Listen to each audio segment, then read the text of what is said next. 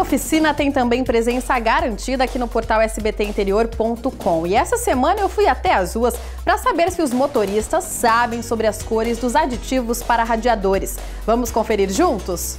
Deve ser vermelho, né? Não, vermelho não é. Não tenho a menor ideia. Não mesmo. Na verdade, o aditivo possui sim uma coloração específica para cada tipo. Porém, isso não é determinante. Também não é possível saber qual tipo de aditivo usar somente pela coloração. Então fique atento, nunca misture aditivos de composições diferentes. Caso a água do seu carro venha a baixar e você não tenha o aditivo que você está utilizando no veículo, complete apenas com água e depois procure um especialista. Gostaram da dica de hoje? Então continue nos acompanhando toda quinta-feira no SBT Interior Primeira Edição e também aqui na internet. Eu te espero!